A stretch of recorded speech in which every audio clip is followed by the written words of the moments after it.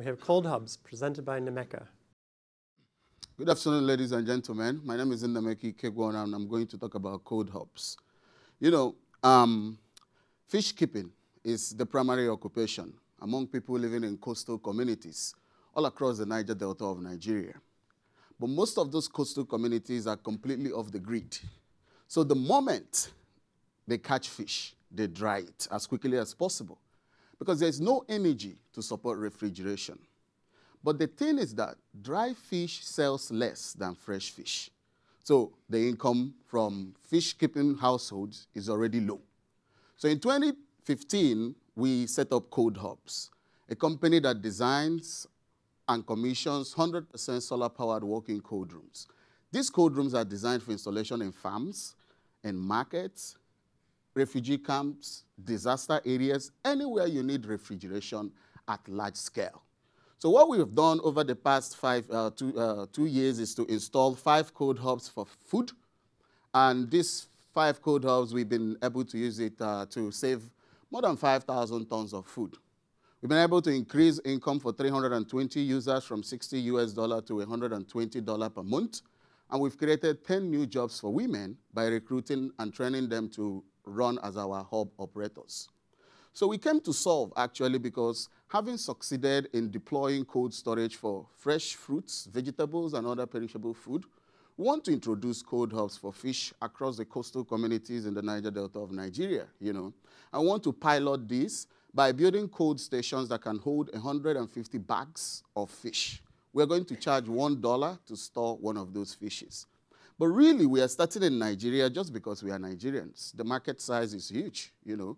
We want to deploy cold hubs to anywhere in the world where there is need for refrigeration infrastructure, whether it's disaster area, whether there are refugee camps, coastal communities that need it for fish, crayfish preservation, in markets where for preserving tomatoes, green pepper, and so on. So that's what we are doing. Thank you very much.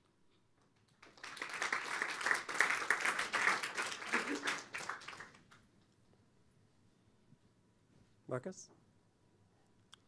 And then Marcy.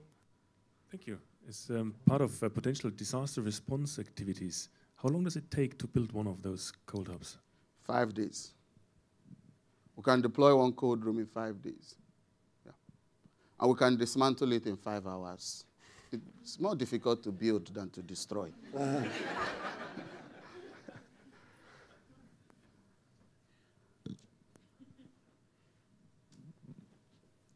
Uh, you you say that um, you have a challenge with dealing with daily cash. What what are some what where's your thinking going with that, and how do you think Solve can help as a challenge?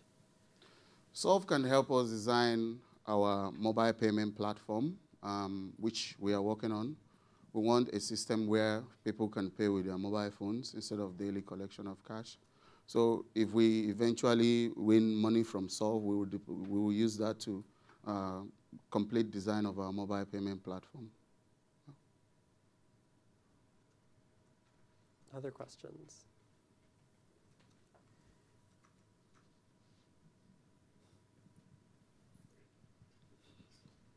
Um, there's a strong mitigation aspect in terms of using solar. But there's, I think you're missing an opportunity in terms of adaptation, especially in, eh, with respect to increased um, air, air, temperatures. Have you thought about this? Have you thought of this can be one of the co-benefits of cold hubs? Because spoilage of food is going to um, increase. Um, can you just, you know, comment on, on, on, this issue? That whether this is, is can be also a solution to um, problems with, with um, food spoilage? In, in addition, to, it is a solution to problems of food spoilage. You know, the benefit of cold hubs is all cross-cutting. Uh, aside uh, food spoilage, you can also use it to make sure once there is uh, high-quality food available, it's also linked to nutrition. You know, um, cold hubs can be used to preserve fish, meat, milk. You know, um, it's a wholesome, robust technology that solves a lot of problems. It is infrastructure that is cheap and easy to deploy. Any last question? Okay. Thank, Thank you very much.